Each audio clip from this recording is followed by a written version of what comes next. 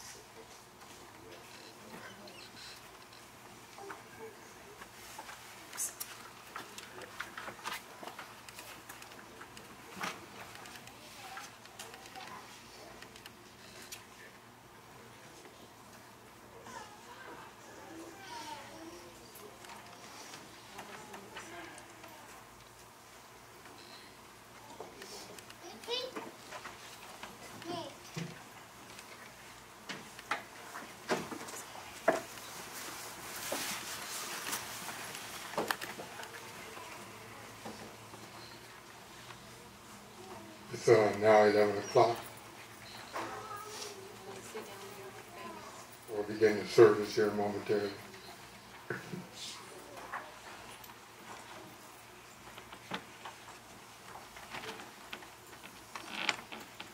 If anybody in the family wish to have a last view?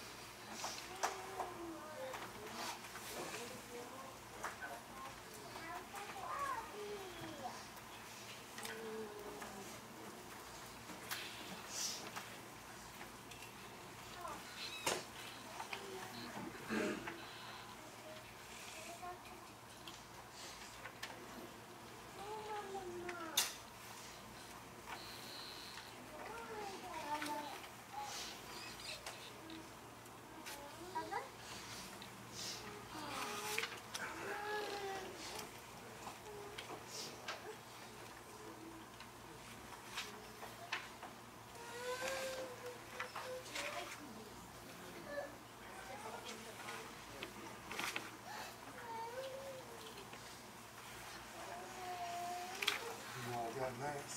Yeah, that's it. You got face masks. Poof, poof.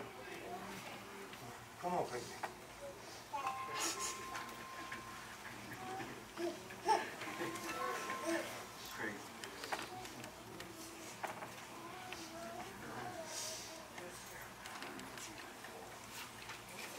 What you gonna do?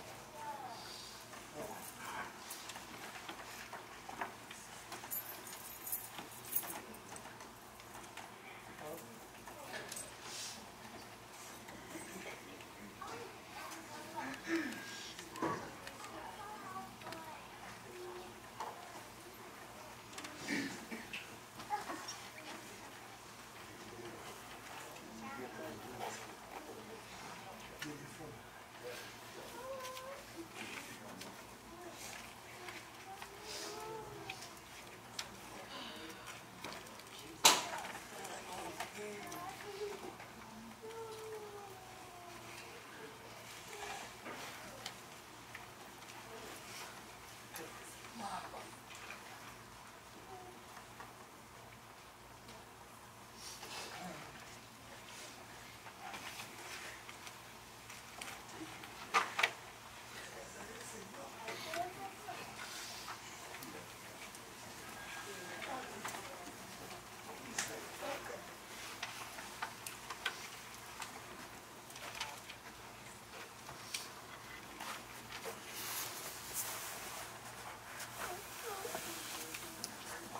We're gonna open the service up with prayer at this time.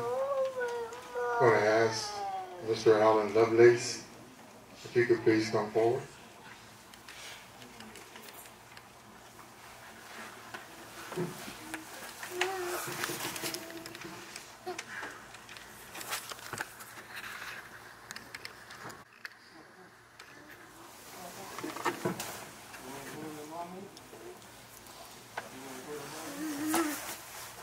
And everybody bow their head. Dear Heavenly Father, we come together to celebrate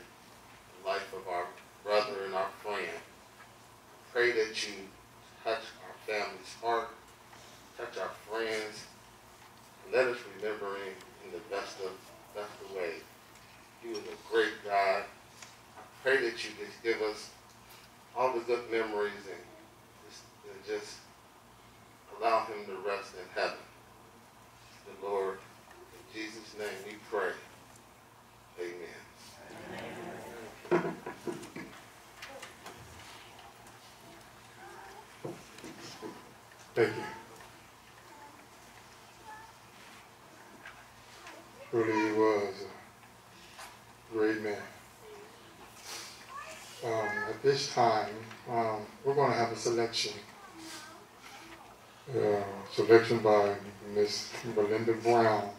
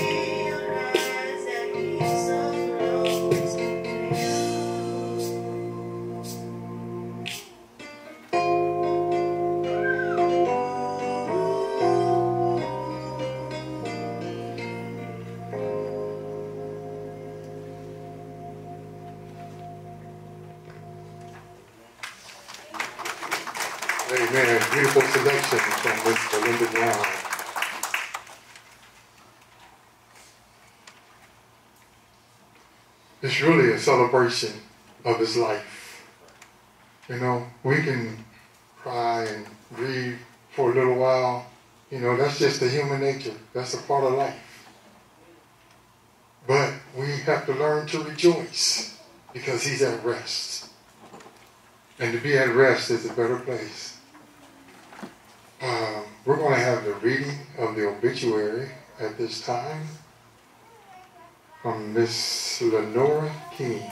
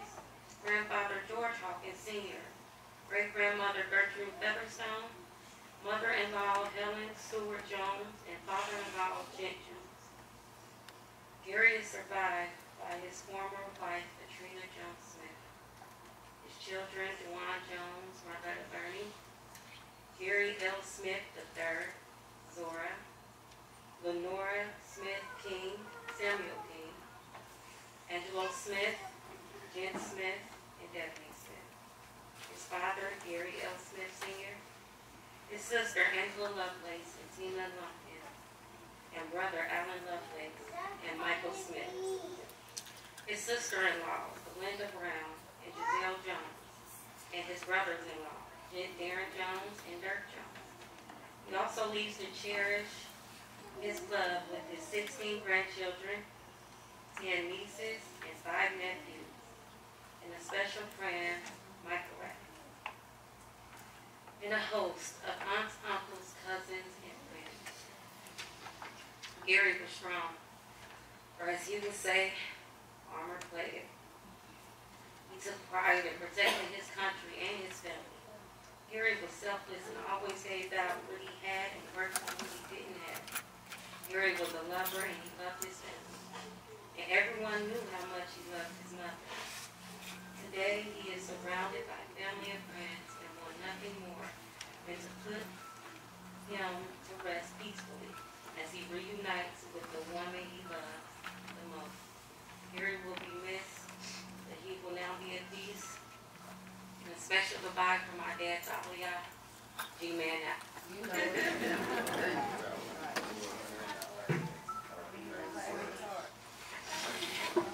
Amen. We will now have an honor tribute by Jen Smith and Tyler Simpson.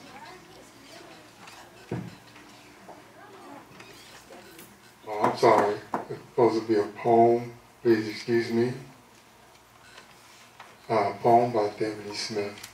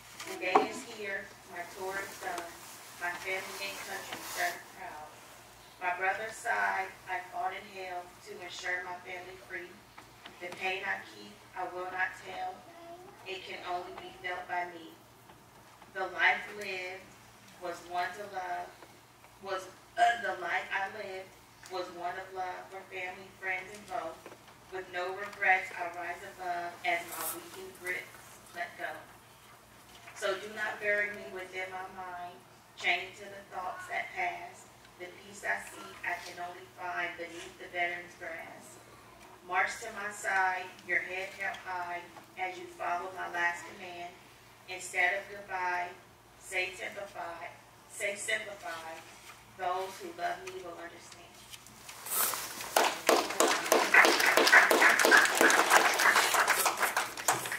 Amen. That was a beautiful poem.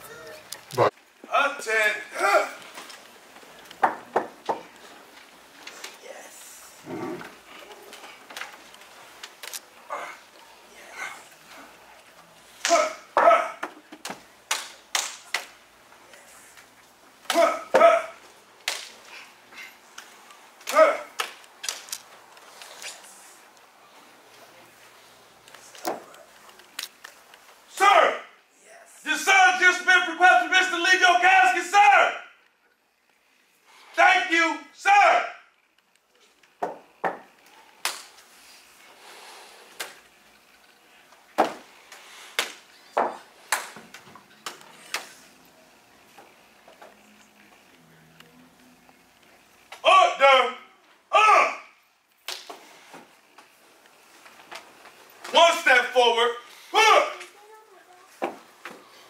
Left. Bang. Put.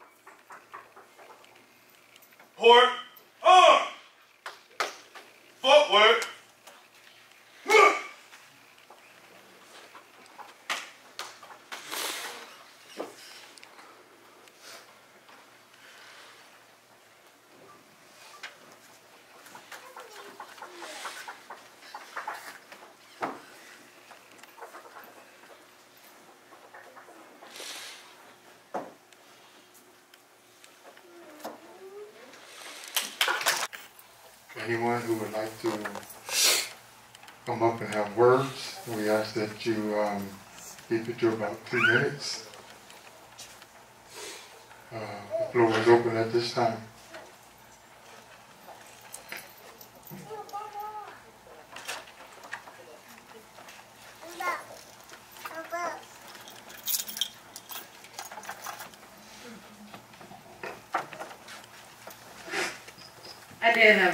say, but no, I don't. I'm sorry. But I do just want to share a couple of things about my uncle that I will remember. And I know one was Wanapoo. I will never hear that name again.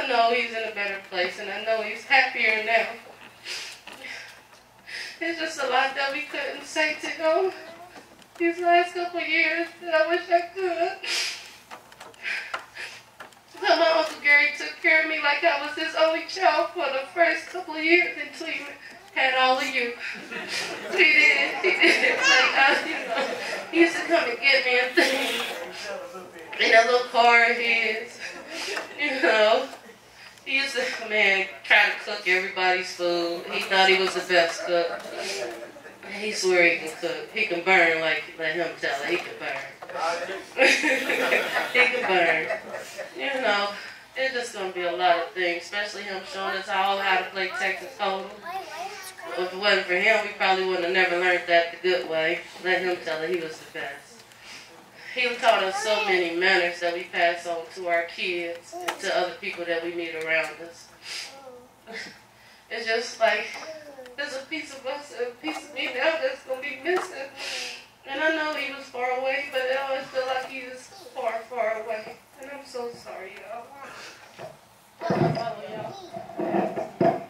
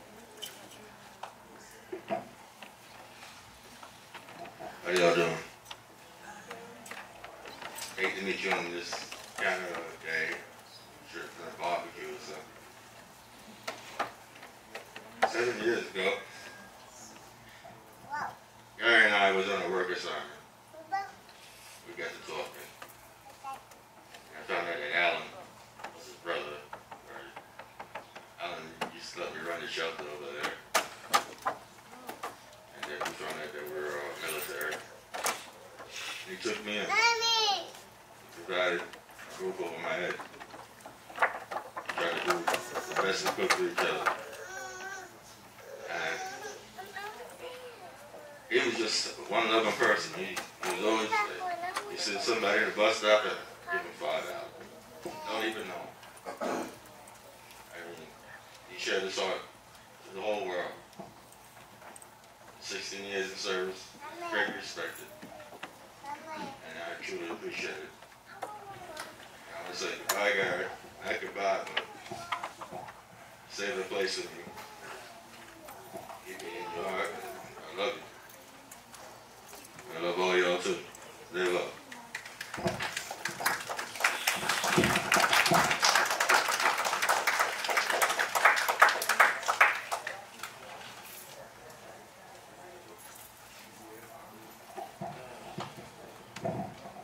This is hard.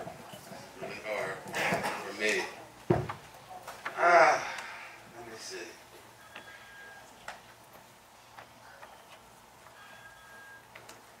All I ever heard from Gary. Man, you look like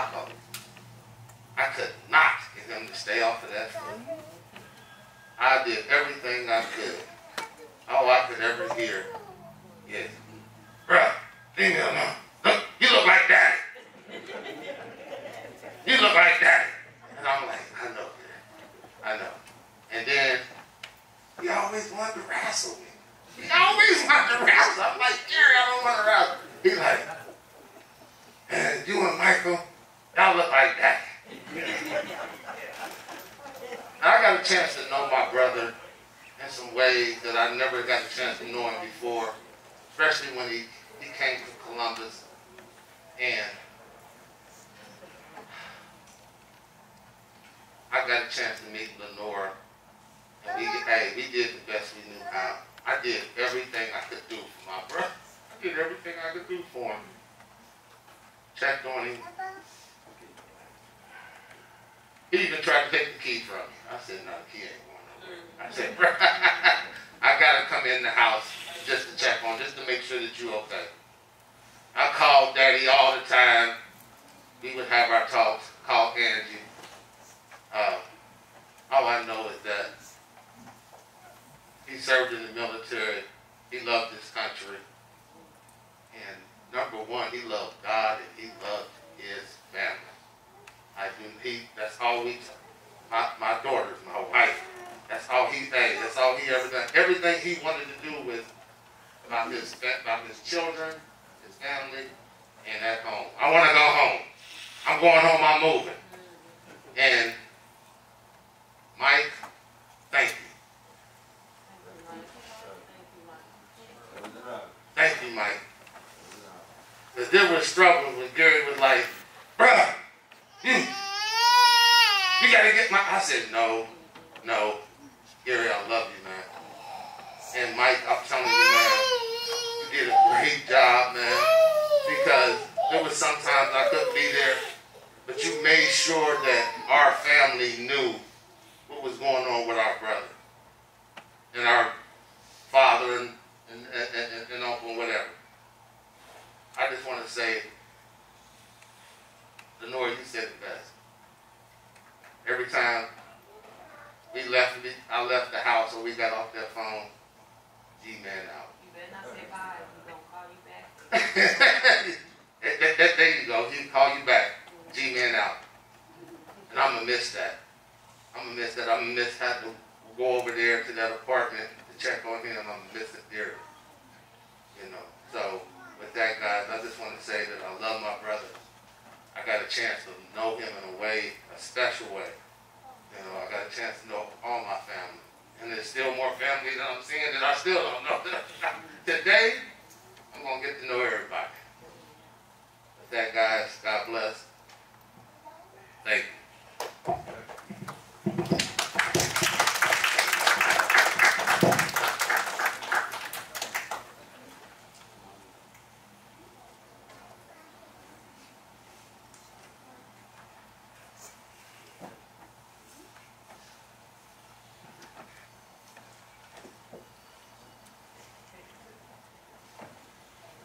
Uh, is there anyone else?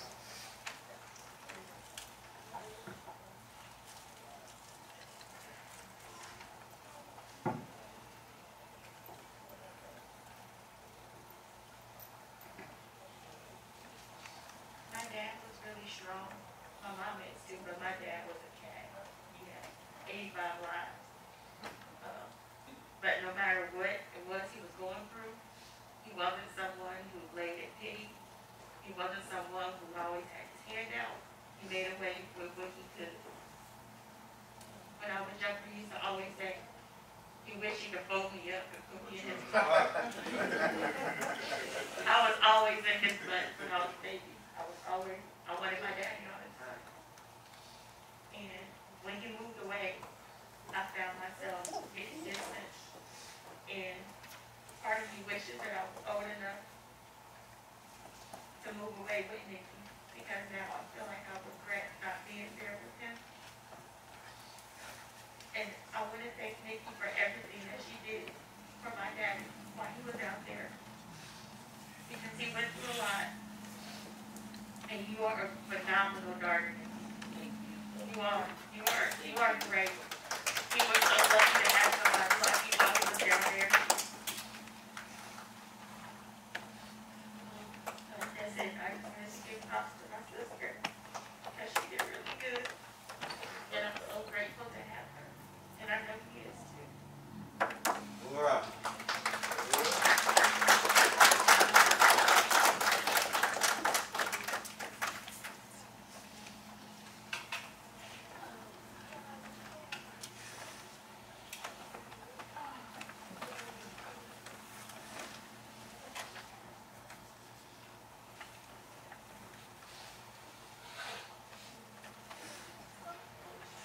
One more thing, one more thing to say, I'm sorry.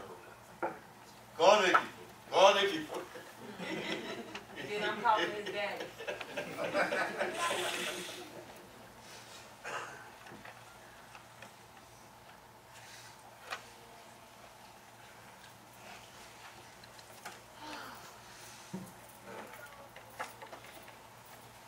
Well, I sure, I still see that smile. You have a million dollar smile out this world as you come in and cheer up any room.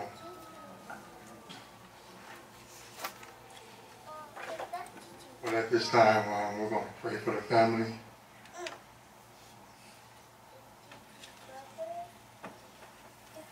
Every head bowed, every eye closed. Dear gracious and loving Father, we come before you today asking that you will give the family the comfort, even if they have comforted others in the time of need. We ask, Lord, that they will know that that special place in their hearts will always have him there to remember the good times, the joy, the smiles, the laughter, and all the many attributes that he shared with his family and friends.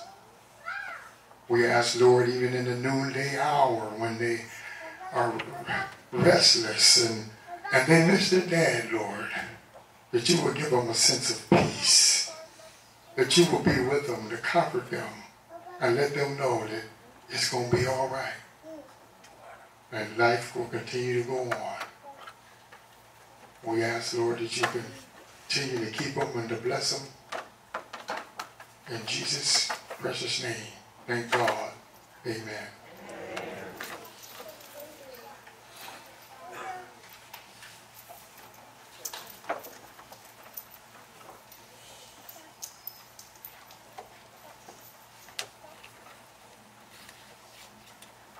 You know, uh, a wise woman once said that the true power a person holds is not when they are present, but when they are absent. And that was by his sister-in-law, Belinda Brown. And we can definitely see how prevalent that is here today.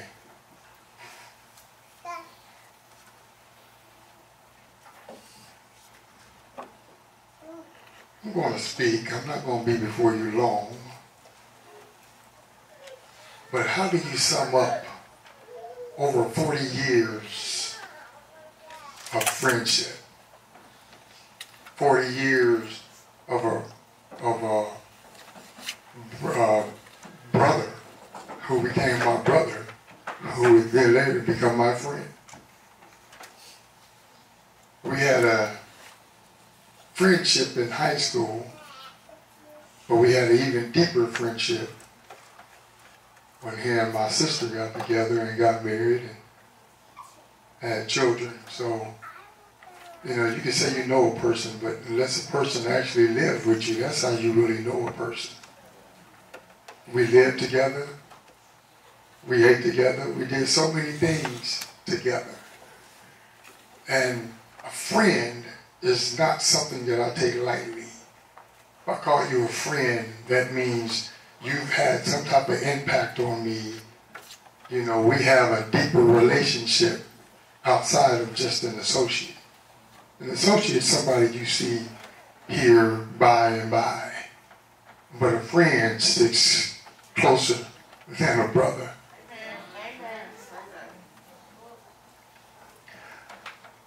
When I think back over my own life and even his, you know, I uh, can see different things that we had to deal with.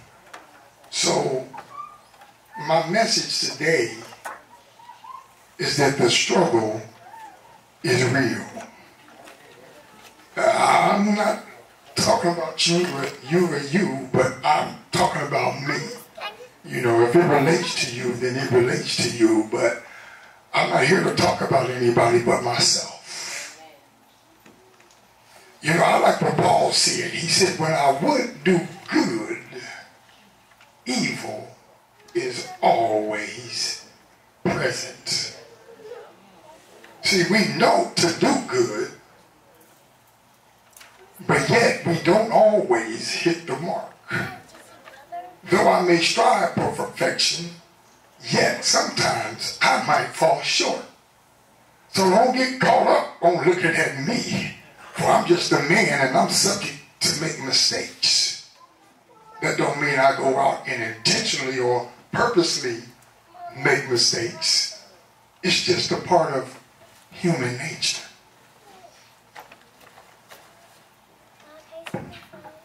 I look at uh, my nieces and nephews, my sister, you know, and she's a strong woman and she, you know, she's been there and she's tough. She's as tough as they come. They call her Kitty, I call her Cat. she passed Kitty up a long time ago. but she's tough. But she can never replace the man. A man, just his presence demands discipline. Just his presence in the household makes a difference. Because I remember when I was a kid, and when daddy would go away, the boys would play. We get a little naughty, mischievous, whatever you want to call it. But when daddy came home and mama told, your eyes got big because you already knew what was about to happen. It's going down. Yeah. I don't know. They don't have the same type of discipline today because when I got disciplined, I couldn't sit down. My butt was told up.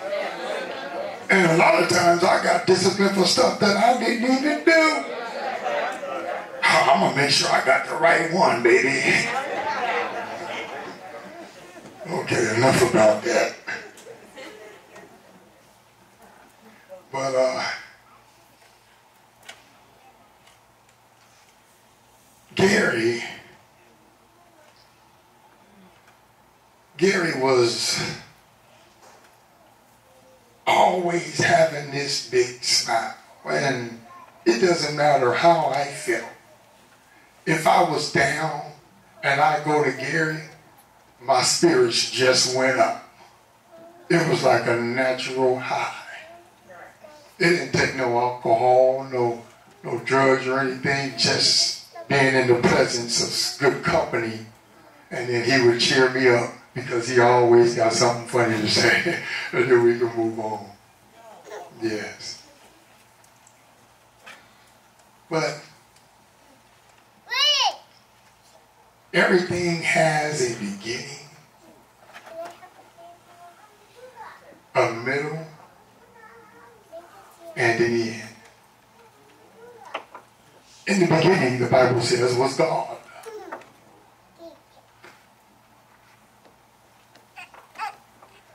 In Genesis 2 and 7, it talks about how the Lord God formed man of the dust of the ground and breathed into his nostrils the breath of life. And man became a living soul. Notice man was just clay. He was nothing. It was lifeless. It's like we art. You create statues or you draw pictures, but there's no life in them. They're just pictures. But God, he, took from the sand, the dust of the ground, and formed man, and it said in his own image and likeness.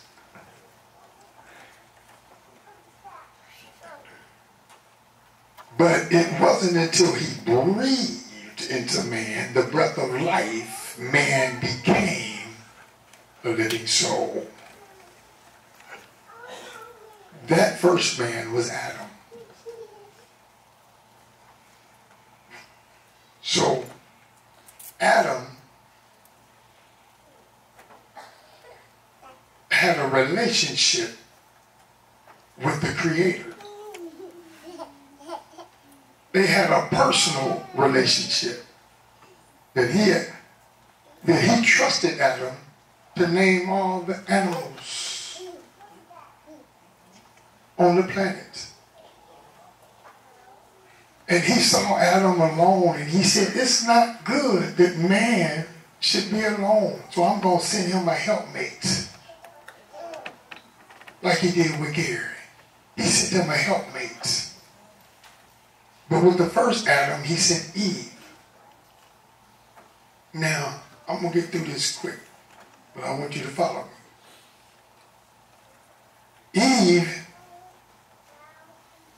Ate up some forbidden fruit. Who knows what it was? But it was forbidden to eat of that fruit. But nothing happened when Eve ate. But when that man ate, something happened. God didn't say nothing when the woman ate. You didn't hear anything. It wasn't until the man ate. And then he came and said, Well, Adam, where are you? And now eating of the forbidden fruit. And the first thing he said, Well, that woman you gave me, you know, huh? he, blamed it on her.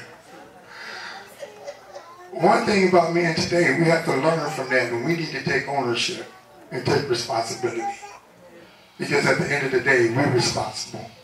Because if the head ain't lined up and the head ain't right, then you can't expect nothing else to fall in line. But if the head ever lines up, then you can best believe that everything else is going to fall in line. Because God has an order of things. But when the man fell, he fell away from God. Now, he's caught up in sin. Now, he begins to struggle with some things.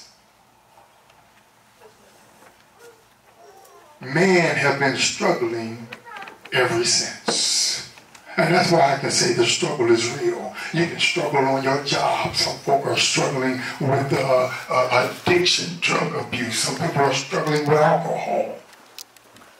Whatever the struggle is. Some people are struggling in, in relationships, struggling with pornography, obesity, abuse, racism. And now, I, I can say this for everybody because it ain't just me. But now the whole world is struggling with a pandemic. The struggle is real. We can look at people in the Bible and we can look at uh, Paul. Paul struggled. When I would do good, evil evil's always present. But even though, I mean, this man wrote most of the New Testament. And yet, the Bible says that he had a thorn in the flesh. He was struggling with something. Why are we struggling? Because of sin.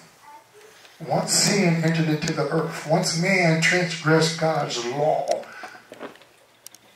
it separated him away from God's image and away from God's likeness. Because remember in the beginning, we was created in his image and in his likeness. Now we've fallen away from it. See, in the beginning, our minds, Adam's mind, housed the knowledge of God. He knew nothing but God.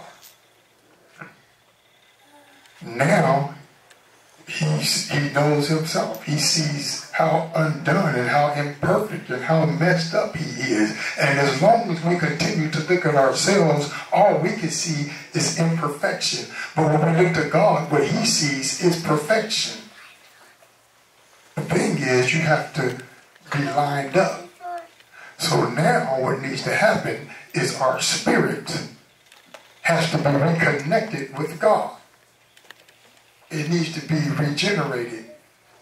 We need to be rebirthed. And when you to be rebirthed is to come into the knowledge of truth. Because truth will set you free. And who God sets free is free. It doesn't mean you're going to be perfect. It doesn't mean you're going to get it right every time. I don't know about you, but I had to crawl before I could walk. And then I had to walk before I could run. And then I could have run before I could fly. In other words, you got to start somewhere. Even as a baby, it sits on milk. That baby, when it first comes into this world, it comes in here with the ability to learn. The baby, I'm just a baby. You know, that baby don't, that baby is learning. It's picking up every word you say, everything you do. Why? Because it's all up under you. It's making a connection. And once it makes that connection, it's, they, they soak up everything like a sponge. And we don't really know the impact that it's having on them until they start mimicking us. Wait a minute, did, did I do that? Did I? What? And then you got to check yourself. Wait a minute, something in me to change. You know, because I don't want them to be like me. I want them to be better than me. So even if that baby has the ability to learn, so do we. And the Bible teaches, he says, he says, learn of me. See, Jesus, we call him Jesus here in America, but he said they will call me many names. So they call him Messiah, Joshua, he, many names, Master.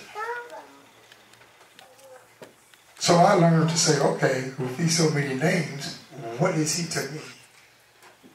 I tell you, he's my provider. He's my protector. I put my trust in him, and his word. So it's about developing a relationship.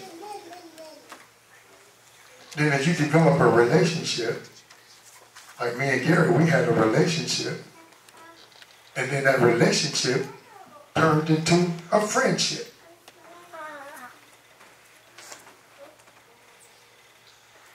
Jesus said, I'm the way, the truth, and the life. And no man comes to the Father but through me. So the only way to get to him is through Jesus.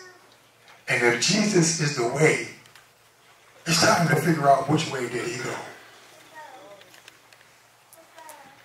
Because if I follow his way, then I'm following the truth. And the truth leads to life. So he said he's the way. Which way did he go? I don't know. What steps did he take? Even as a child, learning ABCs, eventually they start learning how to read. Well, when we read the word, it's nothing but words. But if you ever apply that word to your life, it will begin to transform you from the inside out. Because the Bible, he teaches, he said, I came that you might have life and have life more abundantly. God wants us to enjoy life. He didn't put us here to be miserable. No. Even as a father to a son, what father sees his son struggling and going through will not reach down and pick his son up and dust him off and it's okay, you know what I'm saying, and put him back out there to go play. But that's the same way our Heavenly Father is. All you have to do is trust Him. And He'll pick you up. He'll clean you up. And He'll turn you around and put you back out there. Now go back out there and try it again. And try it again until you get it right. And one thing about Gary, he never gave up. Tried it again and tried it again. Because the struggle is real. We struggle with so much in life.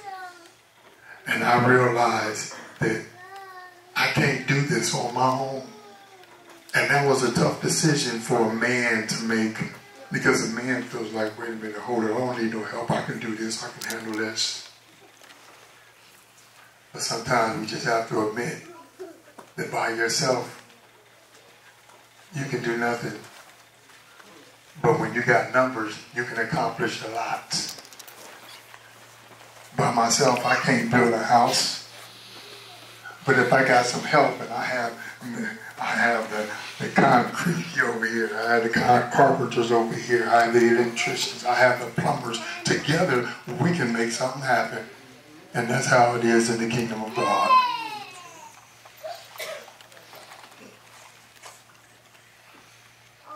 That's how it is in the kingdom. So he would definitely be missed. I love my brother. You know, we did so much together. We struggled together. We were working a job up in Middletown doing concrete. You know, he told me about it. I thought, okay, yeah, I'll go out. I'll, work with you. My brother went and got me a job. I'm like, wow, you know, I got him a lot of jobs. And now it's like, you know, payback. so we out here and we working. I'm taking concrete and moving it around on the Bobcat. Because they were having, walking and they were doing stuff the hard way. So I took the Bobcat, we loaded up 80 pound bricks. And I rolled it around right to the job site. And we were working out, making it so easy. The other people who just happened uh, to, uh, how can I say this? We were only two black men on the job site. So then the white guys come and they take our Bobcat and they doing what we doing and got our stuff all the way on the back, of the building. Now here we are, we got to carry, wait a minute, hold on. We carrying these bricks, well we need it. And we need y'all to work on that side. And now here we are carrying bricks from the front of the building all the way to the side of a jewelry hotel. I know you know the jewelry still.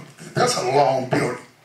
And here we are going to the middle with 80 pound bricks. So that let you know your daddy was tough. He wasn't no little weakling.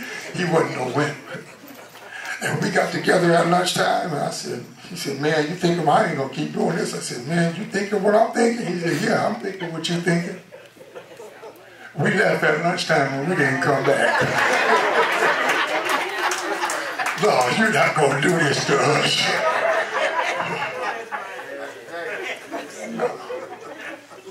Well, like I say, the struggle is real. And then here they're going to take the easy way out. the devil is a lie.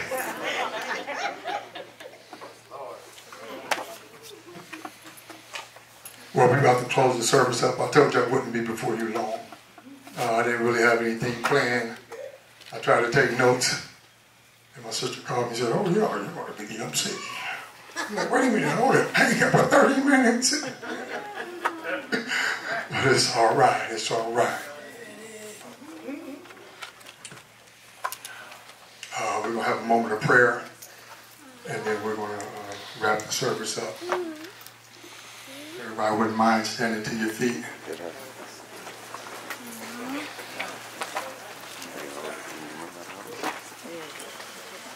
It is a beautiful service. I believe he would he would be proud. Every head bowed, every eye closed. Dear gracious and loving Father, we thank you for giving us the opportunity to come together to send our brother, our friend, husband, grandfather, to send him off, Lord, the right way. We ask that you will just continue to bless and look upon the family and keep them, Lord. And help them to come into the knowledge of truth that they may come to know you and know the power of your love, that they may demonstrate that love in the earth. May they take all the good qualities, the values and morals that Gary instilled inside of them and impart that into their children and their children's children, that the legacy of his spirit may continue to live on through the lives of others for generations to come. We ask these things all in Jesus' precious name. Thank God. Amen. Amen. Um,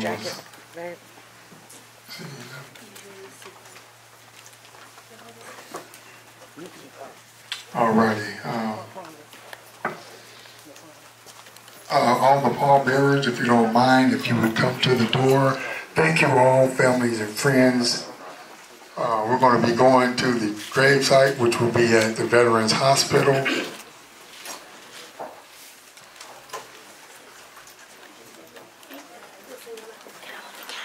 Just remember, it's all about having a personal relationship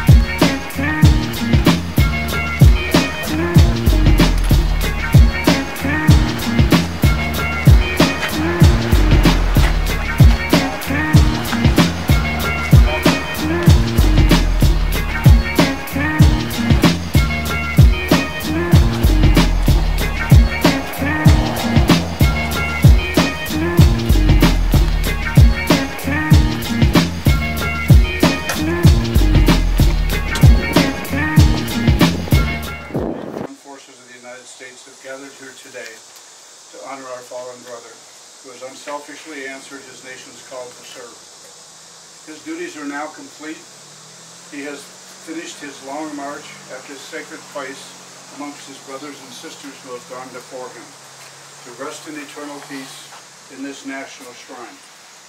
This honor is bestowed upon him by a grateful nation for his honest and faithful service. Our volunteer cadre of veterans has assembled to honor him with a ceremonial rifle salute.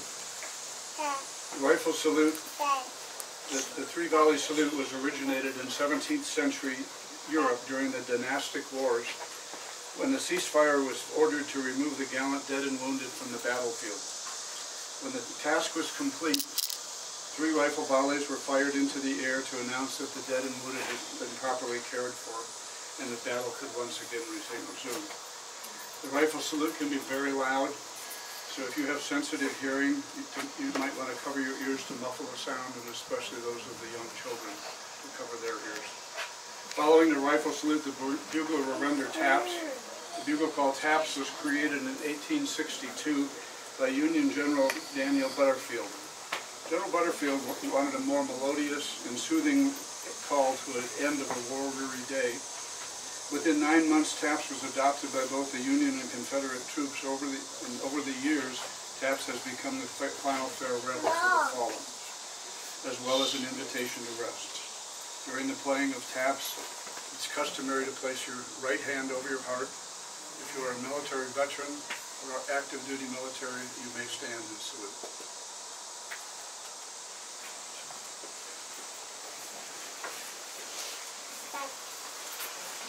Drum leader, honor this veteran. Honor squad, attention! March, arms! Half right,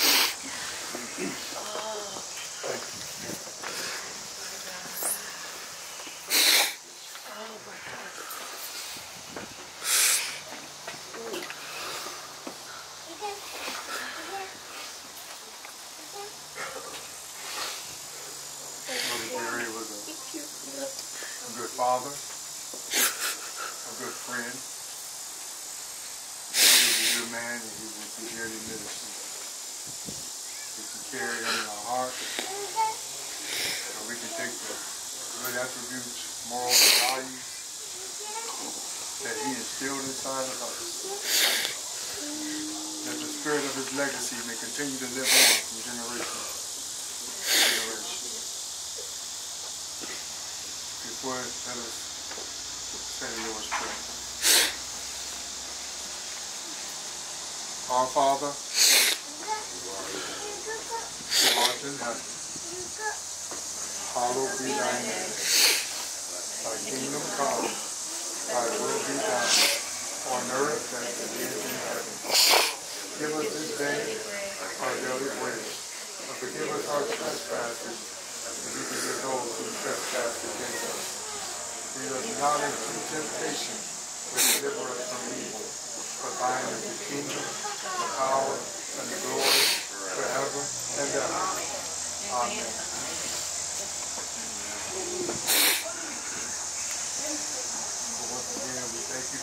contribution to our lives and for their and faith in our hearts. And at this time, even that he was created from the dust of the ground, so shall he return. We commit his body ashes to ashes and dust to dust. Um,